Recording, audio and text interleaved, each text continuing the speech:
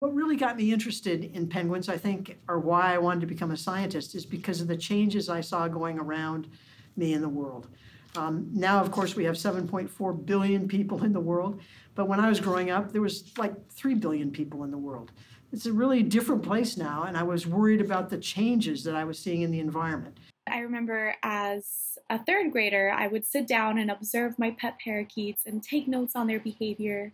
And nobody taught me to do this. It was just kind of curiosity of mine. After undergraduate, I discovered a, a local birding group who went out weekly. That's when I learned you could identify birds by their song and their calls. And it changed my world to realize that all of this background noise were actually birds singing and you could identify them. And suddenly there was just all this activity that I'd previously been unaware of.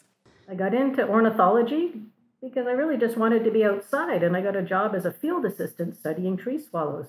I soon became fascinated with their behavior. Why were the females fighting over the nest boxes so much?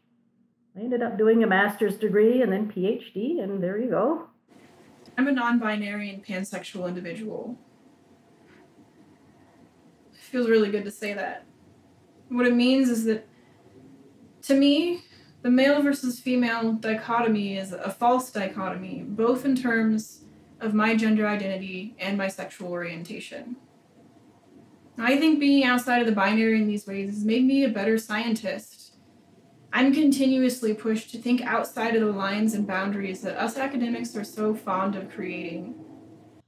As a first generation college student myself, I have experienced firsthand how formative undergraduate research experiences and devoted mentors can fuel the desire and build the self confidence necessary for a young woman to succeed in science.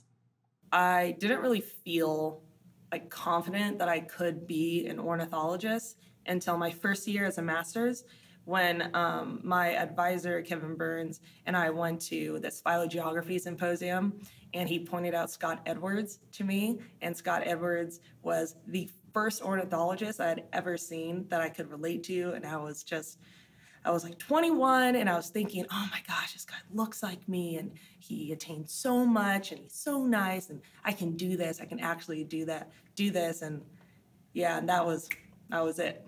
Three amazing women that um, led me actually through the field of biology.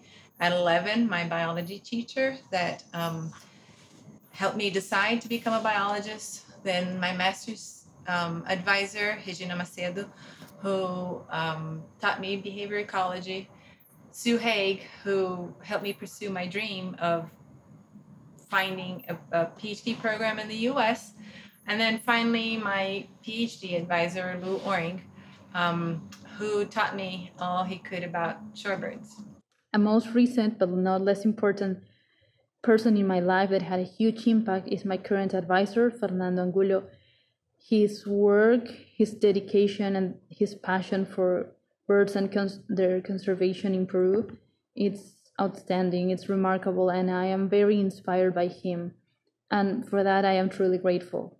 I had many amazing mentors along the way, um, both official mentors, um, my official advisors, and my master's and PhD, as well as um, unofficial mentors, such as a lot of my female friends who ended up going straight into academic positions and showed me that uh, you can do it despite managing the many demands that are often placed on women from the family and work.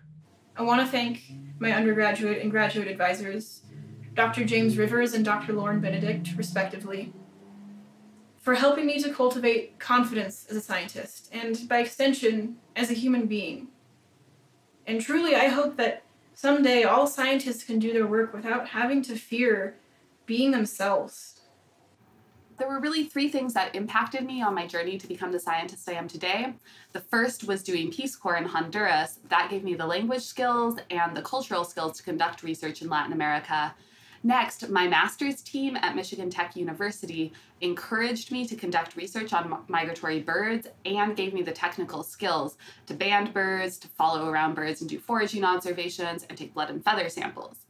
Finally, doing my PhD at Cornell, my advisory team there really helped me think more broadly about ecological questions and design my research to address ecology and conservation applications.